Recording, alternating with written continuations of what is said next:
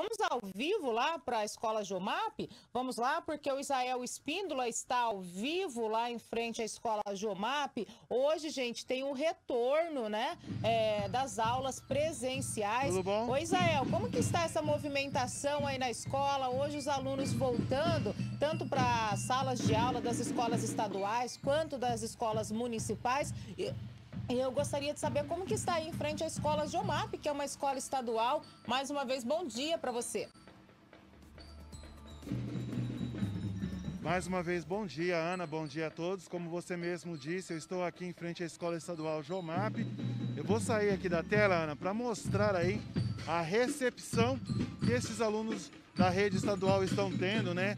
Neste 2 de agosto, a banda marcial da Jomap está fazendo aqui uma apresentação para esses alunos, porque realmente eles precisam aí de, um, de uma recepção mais calorosa depois de tanto tempo sem aula, né?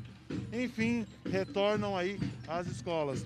Bom, 205 mil estudantes da rede estadual de ensino voltam para a sala de aulas de forma híbrida, após um ano e meio de atividades remotas, desde a suspensão das aulas presenciais em decorrência aí a pandemia causada pela Covid-19 em março de 2020. Orientada aí pelo protocolo da volta às aulas. Volta às aulas, Ana? Então esses alunos retornam então hoje para as salas de aula de forma híbrida e haverá todo um protocolo de biossegurança para esses alunos no retorno à aula. Aqui no Jomap, inclusive, eles estão recebendo aí uh, o álcool em gel no início, está sendo cobrado a máscara, né, para que esses alunos possam ir. E vai ter todo um cronograma aí da forma híbrida.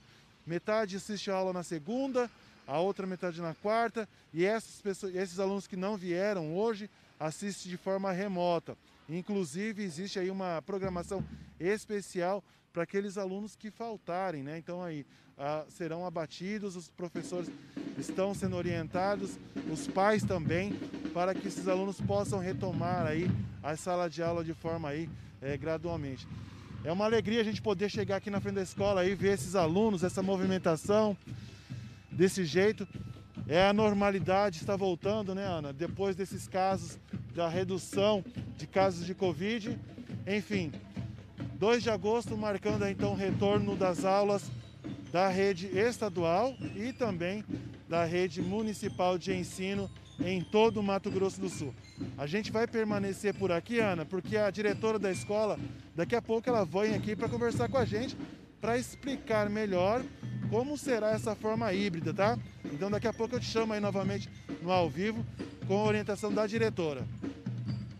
Certo, combinado, Israel Espíndola, muito obrigada pela sua participação, né? A nossa equipe, então, aí em frente à Escola Jomap, mostrando como sendo esse retorno dos alunos para as salas de aula, né? Há tanto tempo os alunos estudando de casa, de forma remota, né? O ensino estava remoto, agora acabou o período de férias, eles voltam ao ensino híbrido, que é aquele ensino presencial e também remoto. É, como não dá para abrigar todos os alunos dentro das salas de aula, né, porque não pode ter aglomeração, é preciso respeitar o distanciamento ali social, né, ter um limite entre as, as carteiras, então é, tem que ter público reduzido, né? Pelo prosseguir aquele programa do governo do estado, municípios que estão na bandeira vermelha, como é o caso de Três Lagoas, podem ter é, 50% da sua capacidade dos alunos em sala de aula, né? Não pode ter 100%, 50% 50%. Então, eles revezam. Um dia estuda uma turma, outro dia outra. Já já a diretora da Escola Geomap vai conversar ao vivo com a gente, explicando um pouquinho mais como será, então, esse ensino da rede estadual. Eu volto agora ao vivo com o Israel Espíndola, porque o Israel está lá em frente à Escola Geomap. Hoje é dia de retorno das aulas nas escolas estaduais também. Israel Espíndola, eu volto com você. Tá certo, Ana. Muito bom dia a todos novamente. Como você mesmo já disse, hoje é um dia bastante emblemático né, para todos nós, porque é o retorno às aulas na rede estadual e também na rede municipal de ensino. E ao meu lado está a senhora Lourdes Alves Neres, que é a diretora aqui do Jomap. É um dia bastante feliz, porque coloca novamente aí essas crianças na sala de aula, neste ano tão comprometido na educação por causa da Covid-19. Muito bom dia. Bom dia. Sim, hoje marca o início de um novo ciclo, né? após um ano e três meses, nós estamos retor retornando às aulas presenciais, lógico que com a metade dos alunos ainda por semana. Agora, diretora, como que vai funcionar esse ensino híbrido? É, uma semana o aluno vem para a escola e a outra semana que ele estiver em casa, ele vai fazer as atividades que o professor preparou para ele naquela semana que ele veio. E depois de uma semana ele retorna para a escola. Quantos alunos estão previstos para retomar aqui as aulas hoje? Nós temos um total na escola 1.450 alunos. Tirando uns 50 alunos que não vão retornar, que são os casos de excepcionalidades, nós vamos atender cerca de 1.400 alunos, né? É, só que é a metade. Então, no período matutino, a gente trabalha com 700 alunos. Nós vamos trabalhar no máximo com 300 alunos. E o período matutino, no máximo, com 250 alunos. Agora, diretora, esses alunos que faltam, parece ter uma programação também, uma atenção especial para esses alunos? Sim, é, é, nós, nós temos três grupos, né? O grupo que vai vir numa semana, o outro grupo que vai começar semana que vem, então a partir de hoje ele já tem atividade para fazer em casa. E tem aquele grupo que por algum motivo, com, com a justificativa que veio fazer até a escola, eles não vão voltar no presencial. Esse grupo, grupo vai ter atividade também para fazer em casa. Agora, diretora, é, está tendo todos os protocolos de biossegurança para que esses alunos possam vir com segurança também e, claro, oferecendo também aos professores. Sim, a nossa equipe, nós estamos trabalhando, não é de agora, nós estamos trabalhando desde o começo do ano. Nós procuramos assim fazer tudo o que é exigido para que tenha segurança tanto para os alunos, tanto para os funcionários, tanto para os professores. Tá certo, diretora. Muito obrigado pela sua participação e a informação. Tá aí, Ana, então. Nós estamos aqui em frente ao João Map, mas vale ressaltar que o retorno às aulas são em todas as escolas da rede estadual e também da rede municipal, conforme a diretora já explicou como será então esse sistema híbrido de ensino aí para esse segundo semestre de 2021. Ana, volto com você nos estúdios.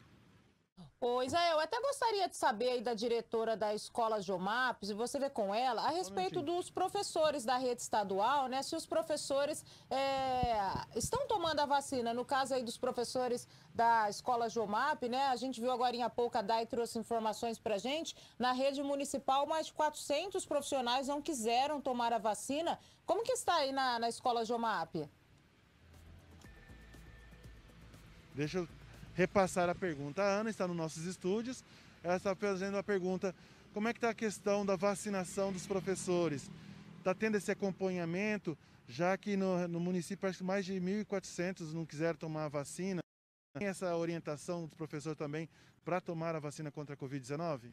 Sim, na nossa escola, cerca de 99% ou já tomou a, a, as duas doses, ou tomou a dose única, ou tomaram a primeira dose entendeu? Na nossa escola não teve muita recusa pela vacina.